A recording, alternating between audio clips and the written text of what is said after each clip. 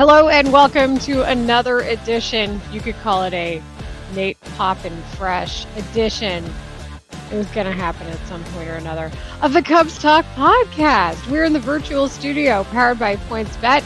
I am Leila Rahimi. I am joined by Nate Poppen, our producer from NBC Sports Chicago, and James Neveau, noted podcaster, noted uh, nice room decorator, noted producer, writer from NBC Chicago. You see him also on the Hawks Talk podcast. Big day for the Hawks Talk podcast crew. You should definitely check that out this week. Uh, so, we are doing our last podcast before the actual regular season. All the games are in the books. And as we get ready, I also want to make this note. Huddle up because it is time to feel the power with PointsBet. With the PointsBet Power Hour, you can get boosted odds or bonus bets every single day between 5 p.m. and 6 p.m. Central Time. It's like happy hour. Whether into hoops or hockey, home runs or hole in ones, once the clock hits 5 p.m., the power is in your hands. Use it wisely. Download the PointsBet app today using code CHITALK, C H I T A L K, and set your watch for Power Hour at 5 p.m. Central. PointsBet your move. We are done with spring training, and we get some big news as far as the Cubs making a big step on their roster and moving forward in what we've seen so far with the direction and the mission statement of this team. Guys, they locked down Nico Hoerner. It's a reported three year, $35 million deal. Not I thought you were talking about Luis Torrens uh, making the opening day roster. This is uh, congratulations uh, to Luis Torrens for making the opening day roster. That guy was crushing the baseball. Mm-hmm. Like he was hitting it to straight, straight, straight away center. He was hitting it to like, if you have power, this is what you're doing today, hitting it to center. Or you know that there was also Dansby Swanson chipping in with uh, two home runs in two games, so that wasn't bad either. But no, I was talking about Nico Hoerner, uh, the reported three-year, thirty-five million dollar deal. That was the last information we had regarding that reported deal as far as uh, the time we taped this podcast. So I would like to ask you two, what do you think about the Cubs making this move? To me, it's just another step in the same direction we've seen this team going. Uh, Nate, you're nodding, so I'm going to start with you.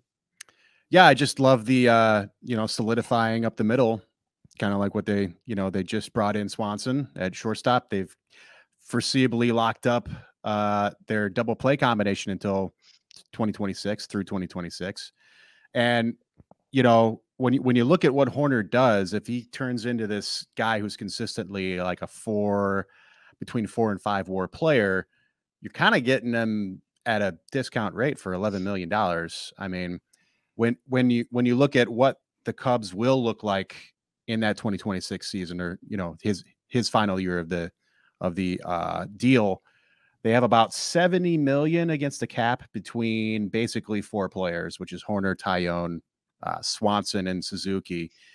Uh, I think it sets them up with, you know, I won't say not an excuse, but I think they they have even more of a reason now to to lock up another player, you know, Ian Happ, uh, which would be nice to see too. But yeah, I just eh, in general, I just love the you know the up the middle, so uh, solidifying up the middle, and if they have their future center fielder, say in uh, in P- PCA, in in the waiting, that's that's even you know even better for their future of the team. Nate, I, I, great. I, Thank you, James.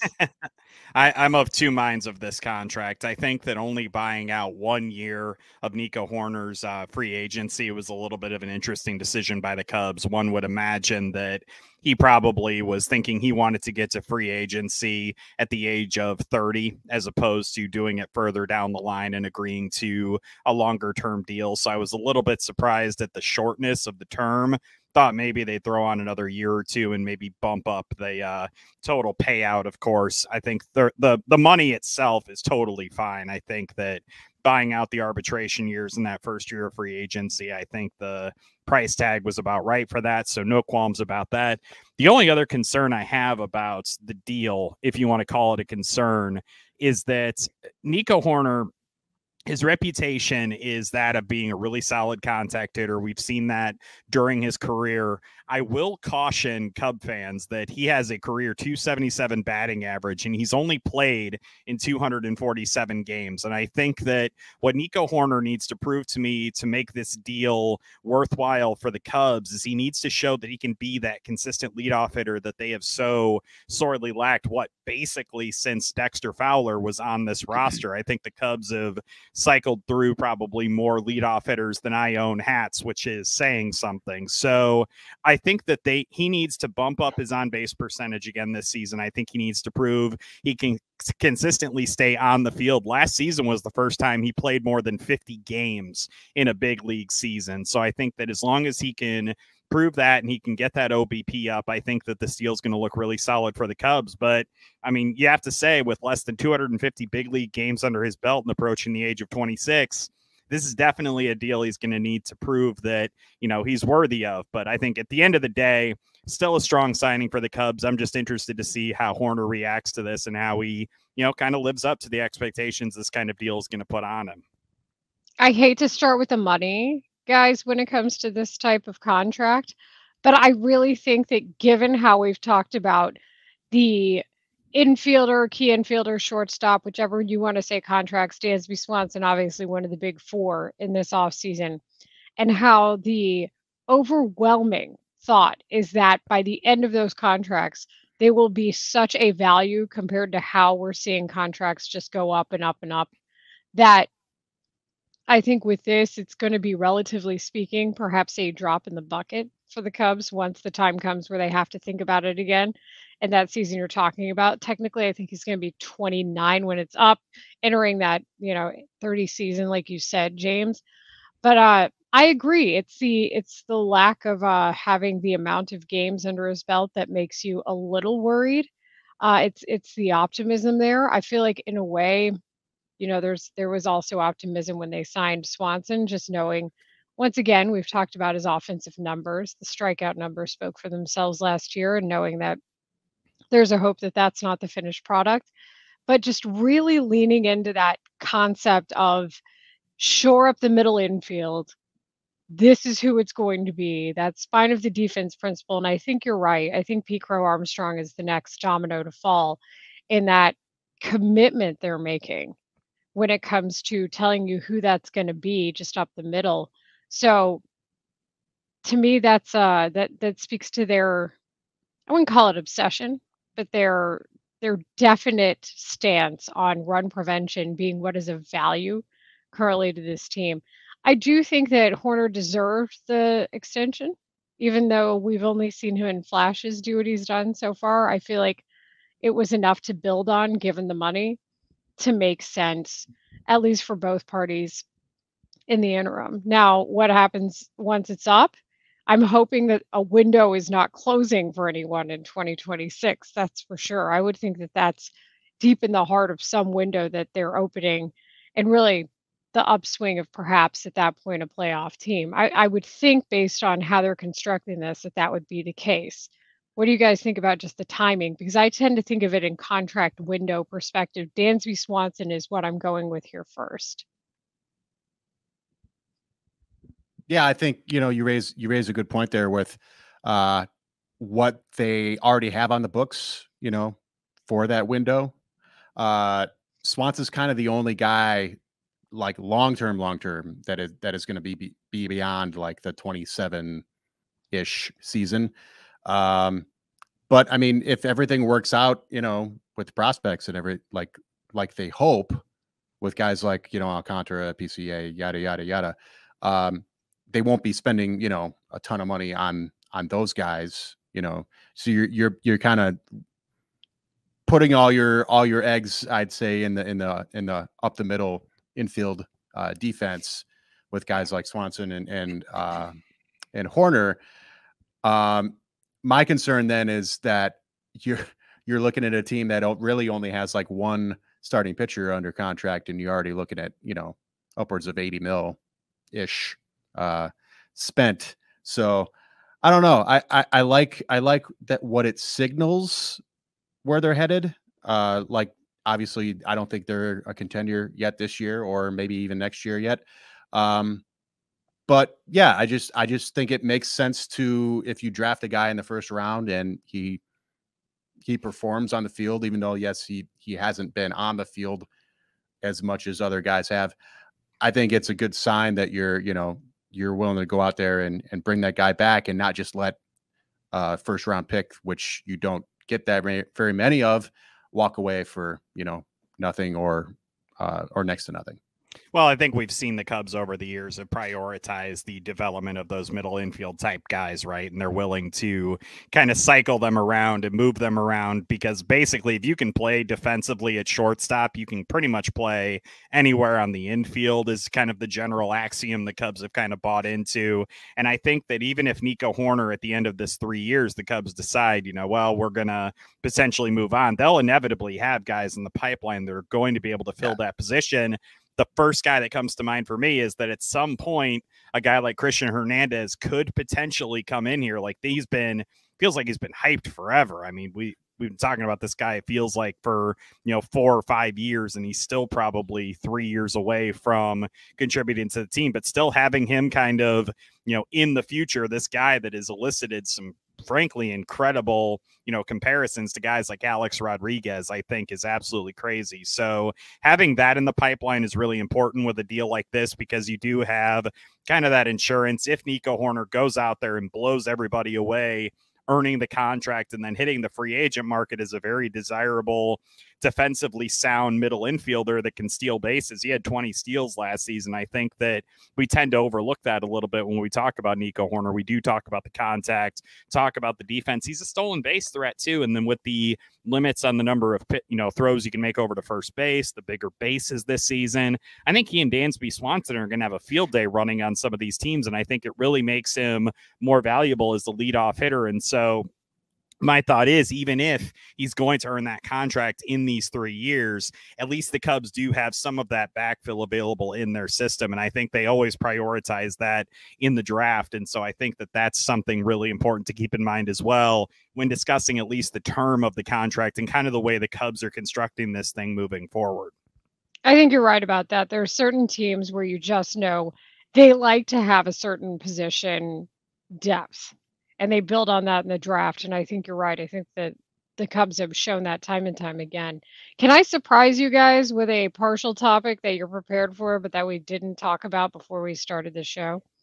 No, no, of course not. As long as it's not Nick Madrigal, I'm okay. it is not, but it is Ian Happ. Okay. Yeah. So our friend Maddie Lee from the Sun Times wrote an article, and this is before the news about Nico Hoerner came out. And Happ didn't have that extension agreement. And she quotes Jed Hoyer, and this was from the GM meetings in November. So hear this after we just talked about the previous news. Don't hold me to this, but I don't really love negotiating in spring training.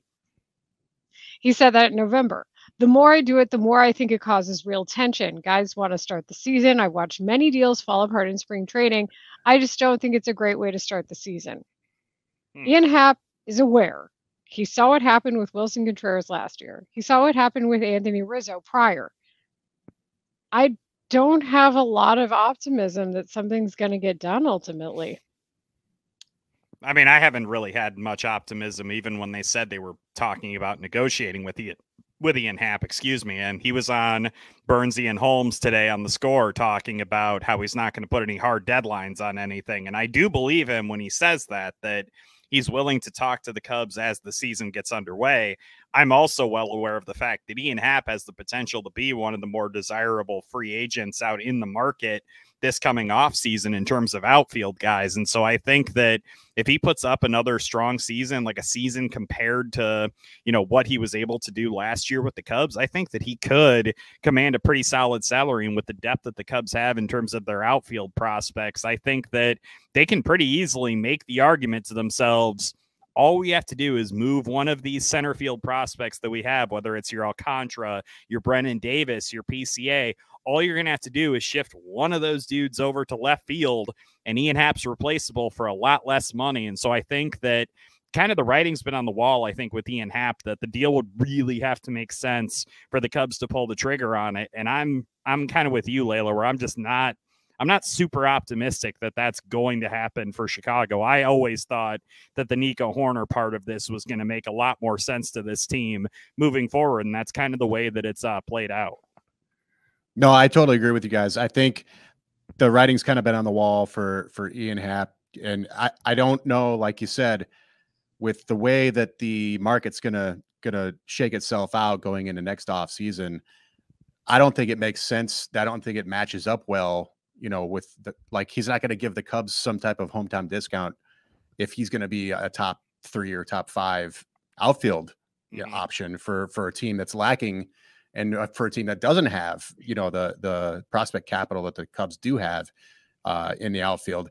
And yeah, I mean, you you have to look at if you're if you're if you're Hoyer, um, you have to look at every position as you know, weigh it out who do we have waiting in the wings?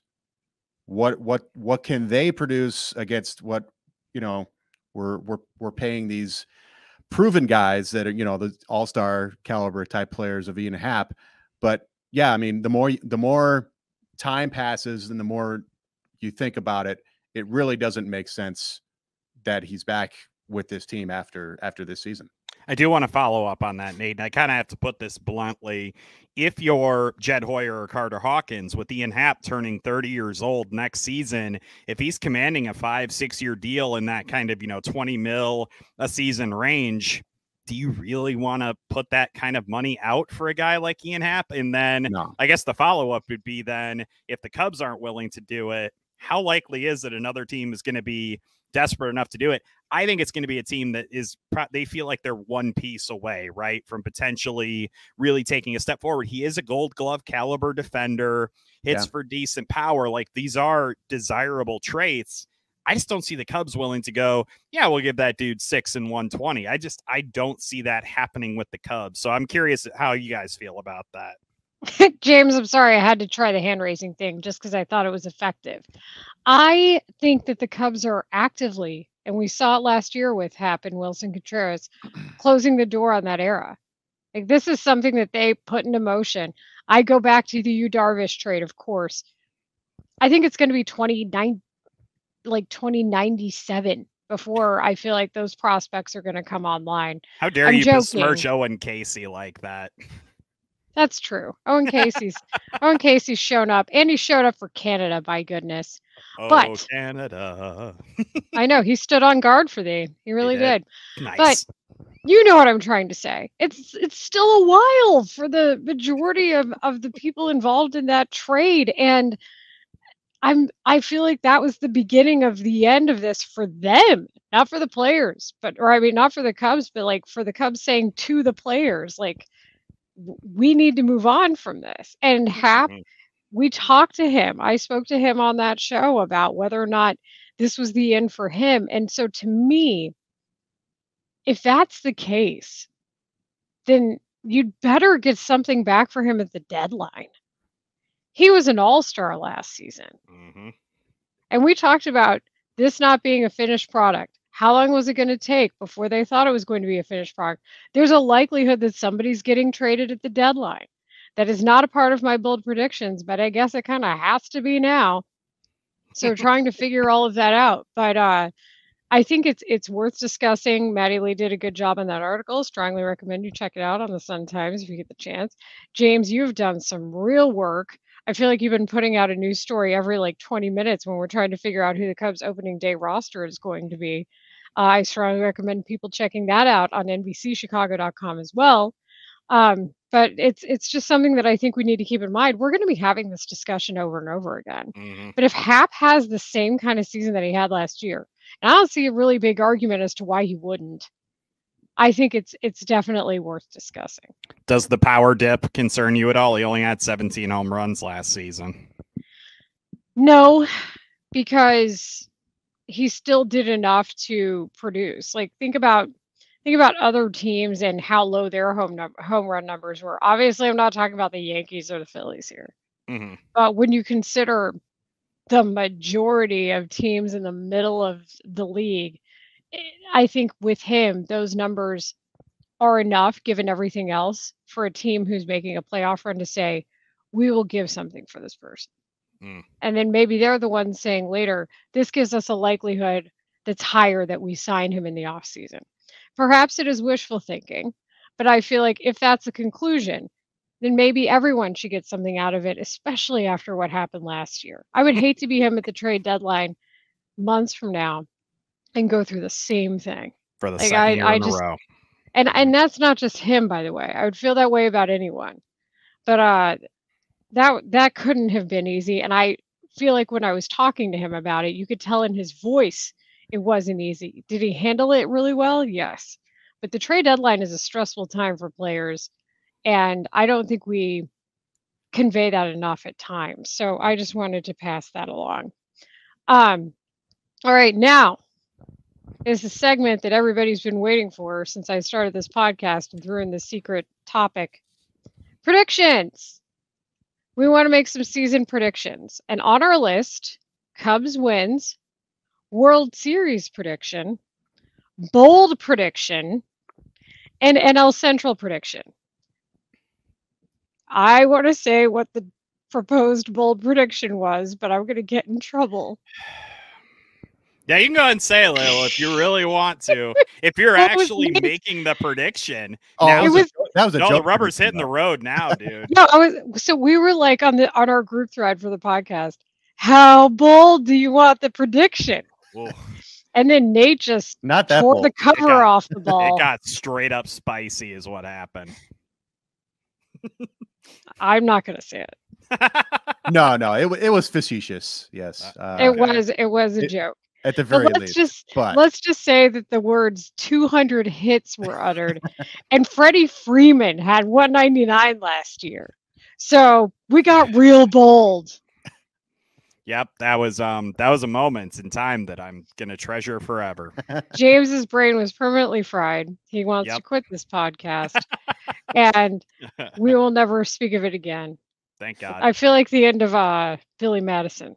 I award you no points, and may God have mercy on your soul. Cubs wins. Thank you. Zips Zips has him at 78. I don't think that's enough. Ooh. I'm gonna go with 83. Mm. They Is this the- outperform their Yes. I was going to say, is this the part where we go 83? yeah, exactly. Only if you want to in your heart. But I really think that they uh they outperformed their projection last year. I don't see why that wouldn't be the case this year, especially when you consider that uh people are definitely trending in the right direction. I think even more so than prior to spring training when a lot of this stuff came out. I like Zips. I'm not even going to bring up PECOTA. We try to balance them against each other. But uh that is that is my prediction that this is an above 500 team. okay. I'm, Um, gonna go, What about you, uh, I'm gonna go one one less. I'm gonna say 82. So yeah, I'm right there with you. Uh, I think, you know, the, the Zips and PECOTAs of the world. Obviously, they're they're uh, conservative uh, to begin with. With most teams, uh, they usually don't predict most players hitting over like 25 ish home runs, which is kind of crazy in this day and age, uh, and especially given what's going to happen with you know the rule changes and and pitch clock and and banning the shift and all those things. Uh, I find it hard to believe that uh, offense doesn't go up overall. But anyway, uh, long story short, yeah, I think 82 wins. I think the pitching staff is much deeper, uh, much younger, more uh, diverse, and uh, yeah, everything. I I just I like everything about this team more than I did last season uh, for obvious reasons. Uh, and I, I just don't see how they don't get to like all you have to do is get hot for a couple weeks in April, build build a nice little cushion, and then go 500 the rest of the year. So you know, that's pretty much Well, it. All you, or all you have to do is hit a cold streak in June when you can't hit the ball out of the ballpark and fall out of contention and trade away your best players. That could also happen with That hasn't Cubs. happened. So my I'm going to say PointsBet's our sponsors love Mhm. PointsBet in the virtual PointsBet studio that we're in. They have Five their over under power hour. at 77.5 wins. I have put my money where my mouth is with this, and I have put it on the over. However, I only think the Cubs are going to win 79 games. I think that their pitching staff has improved. I really do like the moves that they've made in that area. I think Hayden Wesneski is poised to have a really strong campaign. The two things I worry about with this team the relative lack of power hitting that they have. I don't see yeah. them being able to score runs in that way and manufacturing runs can be tricky when you have some higher strikeout guys in the fold like the Cubs do, like with your Patrick Wisdoms, etc.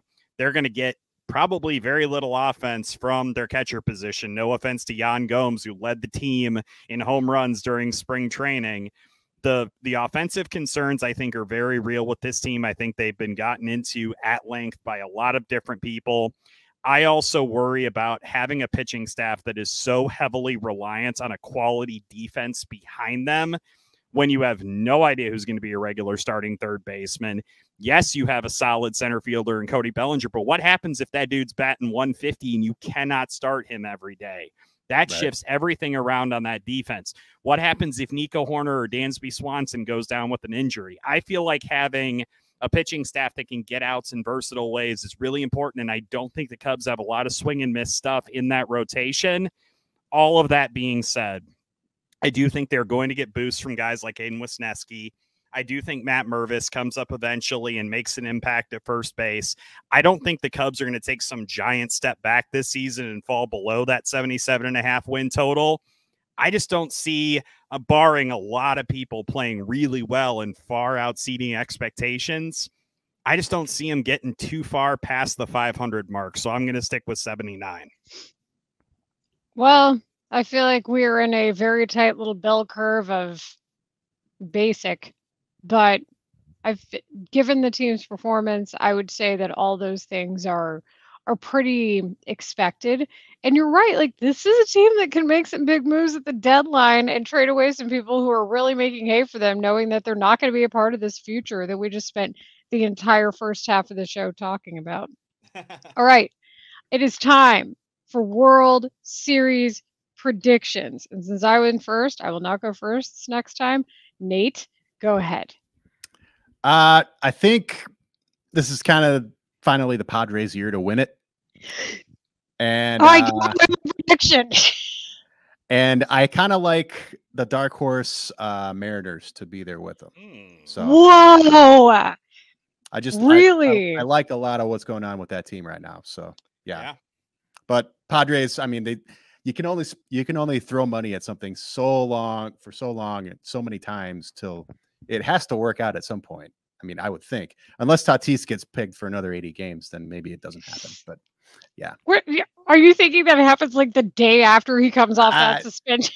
I he's he's Tatis. I don't know. He's capable of a lot of things. So that's that's fair. Uh, all right, James since everybody kind of knows mine already, given my reaction, that was ridiculous. Well, I have neither the Padres nor the Mariners in my World Series prediction. What? I am going. I am going with a repeat of the 1993 World Series. I am going with the Toronto Blue Jays nice. over the Philadelphia Phillies in the World Series. I love the moves the Blue Jays have made in the last few years. Their lineup is absolutely stacked having guys, you know, in that lineup like your Matt Chapmans, your Bo Bichette's, your Kevin, even your Kevin Kiermaier and George Springer in the outfield. And then you look at what they've been able to do, shoring up their pitching rotation as well. I just, I think the Blue Jays, yeah, it's a really tough division having to play with the New York Yankees. Yeah, the Seattle Mariners have made some incredible moves. Yeah, the Houston Astros are still the flippin' defending champions. It's going to be a tough slog through the American League, but I just really see the Blue Jays taking that step forward this year. And honestly, I love what the Philadelphia Phillies have done this year, too. I mean, adding Trea Turner, fairly big deal when you really consider it. They've shored up a lot of pieces, spent a lot of money. I think they're going to have a tough time with the Mets and the and the Braves, of course, in the East. And lest we forget, the Padres are sort of good out in the West. So it will not be an easy road. But man, that Phillies lineup is so stacked, and they've done so many good things. I think that, you know, they're probably a compelling argument to make for at least seven or eight teams to win the World Series this season. I'm just, I'm riding with Canada. I'm riding with the Toronto Blue Jays. I I'm a crazy person who also thinks that money solves a lot of problems in life and in in uh in Major League Baseball. So I thought since I've been trying to predict them going to the World Series for the last I think two seasons, I'm going to stick with it. I think the Yankees come out of the American League. and I think they play the Padres and the Padres win. The National League is is to me the upper echelon of the National League is the upper echelon of baseball outside of maybe the Astros. And that still doesn't even make sense as to why I'm picking the Yankees. But I just feel like they're going to make trades that they need to make at the deadline this season to try to try to move them across if they don't have enough. They did, of course, sign Judge to that massive deal. Uh, I think it was a savvy pickup to get Carlos Rodon. I would not be surprised at all to see their pitching staff uh, perform the way we thought it was going to from wire to wire in the regular season. Not that people don't get injured. And then as far as the Padres are concerned, you can't argue with the star power that they've added in the offseason. And then they were like, oh, yeah, let's get guys like Michael Wacha. And to me, those are detail signings where they just get another pitching arm if they need him. You know, people who are available that other teams might say that's our fourth or fifth starter, maybe third on some teams. And they're like, we're just going to have him for depth.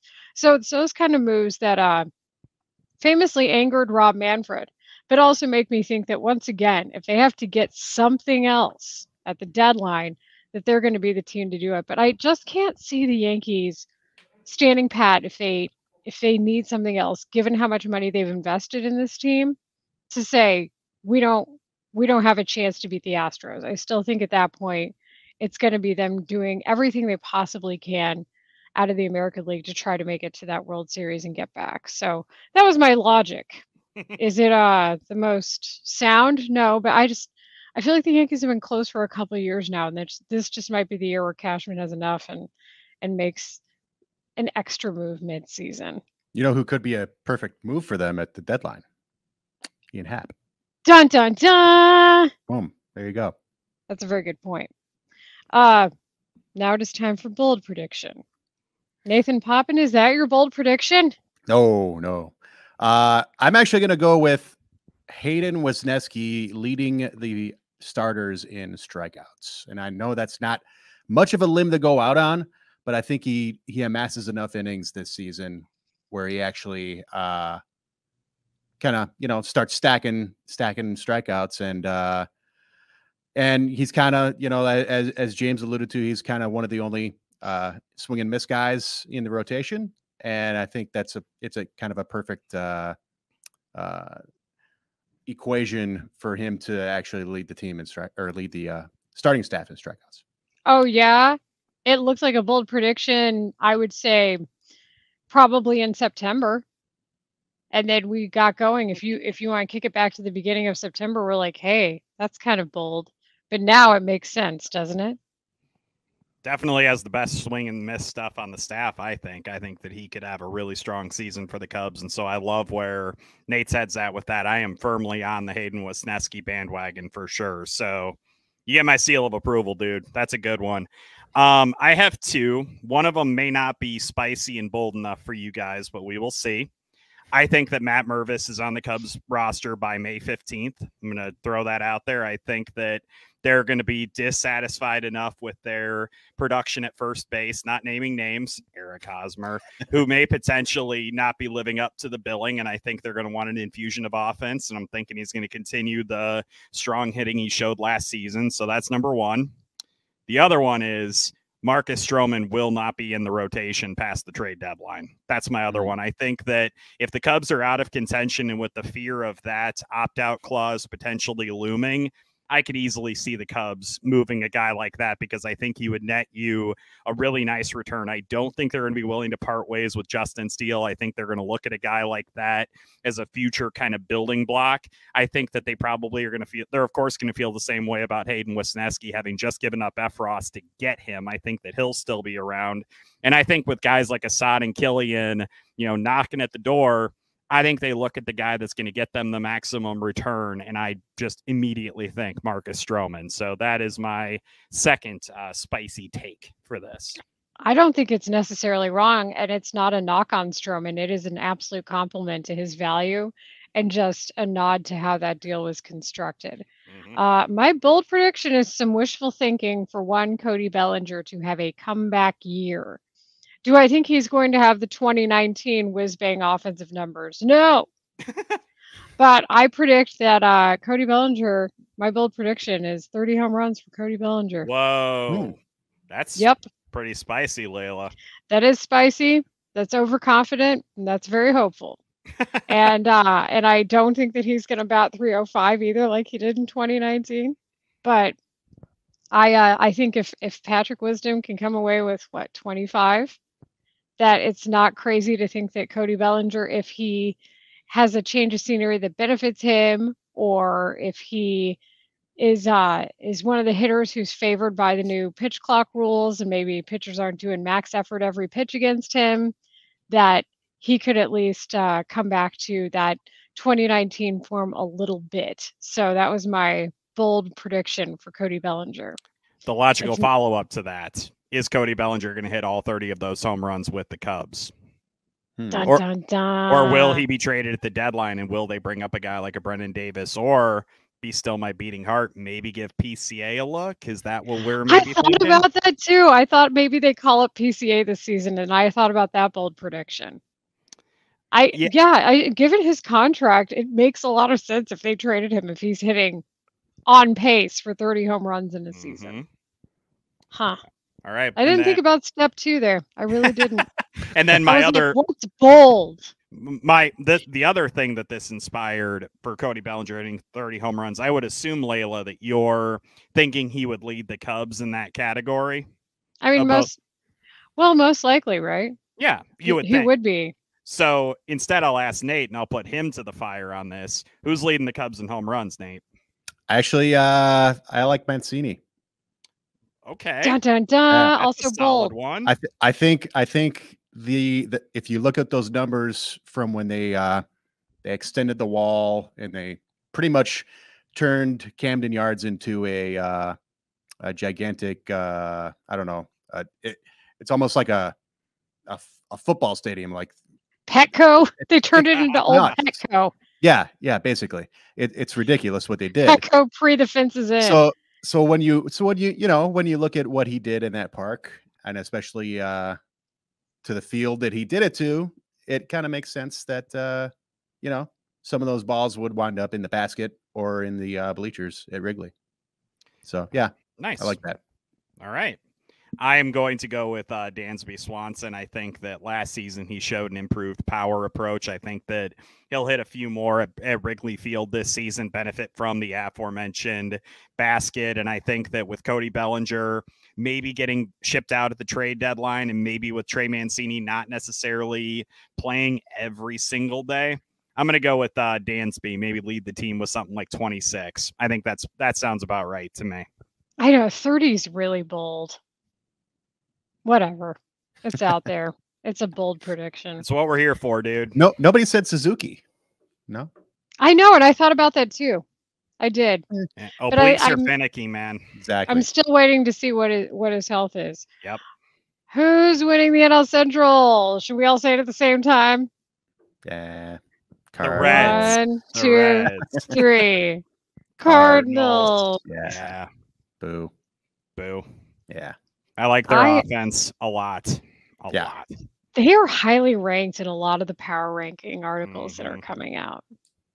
Well, I mean, you have the reigning, you know, National League MVP. You've got some dude named Nolan Arenado. You've got Jordan Walker that's coming into the mix. Lars Nootbaar's in there. Like, You well, oh, and then they hit added Willson 105. Contreras too. Man, that's a lot of offense. That's Somebody's so- hitting 30 home runs on that team for sure. yeah, fortunately, the Cubs only had to play at Busch uh, Stadium once this season, so you only only get subjected to the St. Louis crowd once if you're Cubs fans. That's Hmm. that's uh that's something that's like really going to george shortage take some uh, time to reset. A Jordage, if you will. Is there such a thing? oh there is Oh yeah, George Shortage? yeah less mullets too anyway yeah Ooh, Nate from the top rope. Sorry. Is that a bold prediction? I don't think so. Been to a lot of games, so yeah. I think Nate actually said if uh, Trey Mancini doesn't lead the Cubs in home runs, he's going to craft his hair into a mullet. I think I heard him Oh, it's say it's that. actually not possible. So yeah, I'm, I, yeah, That's what you say. yeah. I, we I can have figure out something. yeah, I have I have cap hair. So yeah, we're uh, oh, yeah. like David Kaplan hair, or yeah, yeah, like- yeah, yeah. Oh, okay. I thought you meant ball cap hair. I like Totally how Leila didn't. and I went completely different directions with that. Maybe we just make James's hair mullet. His wife is a hairdresser.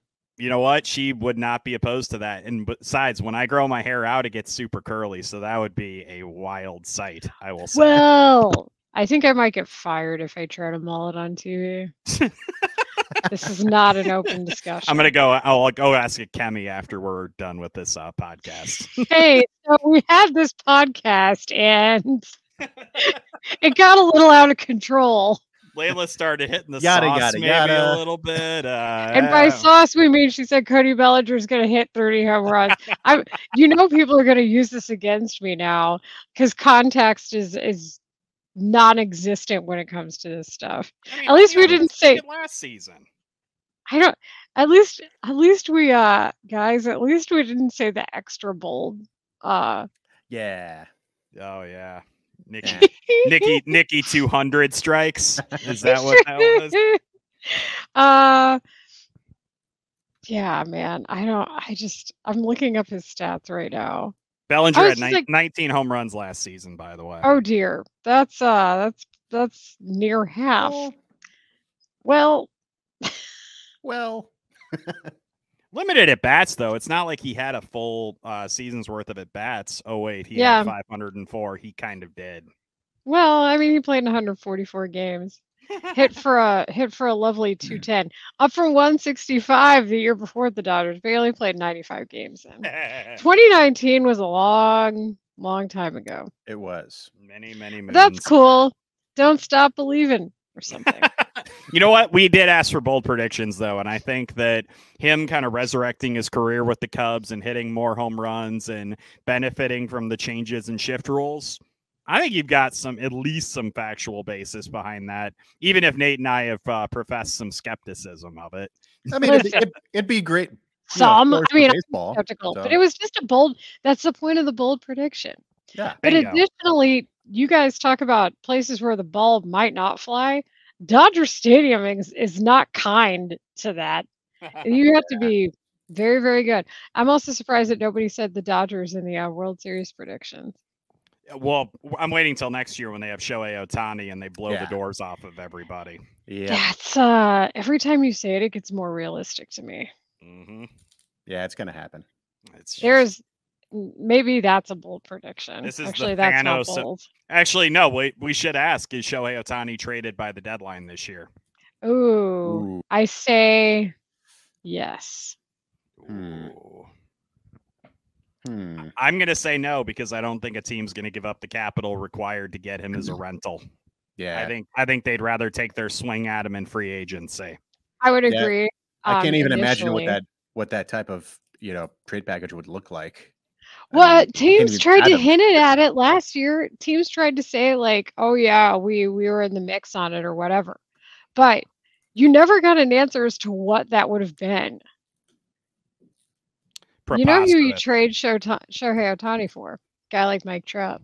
Wait. oh wait, can't do that. Ah, and on that note, I think it's uh it's time to cut us off before people think we're being serious.